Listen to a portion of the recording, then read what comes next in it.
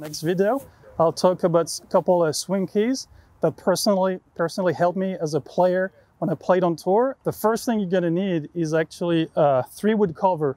And here it is, I got my frog right here. It's uh, my Horn Frog uh, three wood three wood cover. The the way I want to use it is I want to put it under my right uh, arm right here.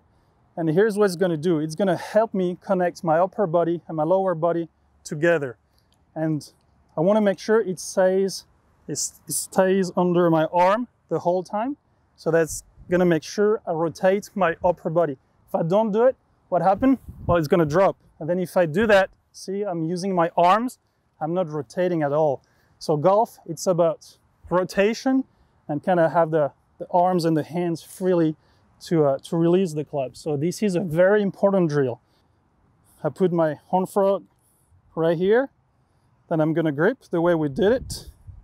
Put in my finger, got my interlock like Tiger Woods. Then my posture right here, I got my good posture. So now what I wanna do in complement of that right arm, I want to make sure my left arm stays straight.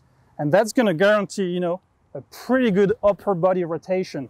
And that's to give me a lot of consistency when I come back on the ball. So if I do that correctly, I don't have to go too far, in on the backswing. I want to feel it. I want to make sure my right elbow is stuck to my body and my left arm is straight. That's going to give me a very good rotation here. That's going to give me perfect control impact.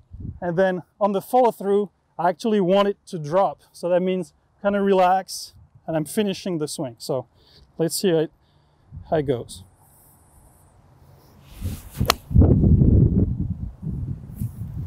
All right, so when I'm working on the range, I don't need balls like for forbidding balls. I'm doing something that helped me with my upper body rotation, my connection, and then my release to the target. All right, so that was another uh, another tip right there. Very easy drill to put uh, together on the range. All you need is something under, and that could be anything else, like a tee or a putter cover. All right, thank you.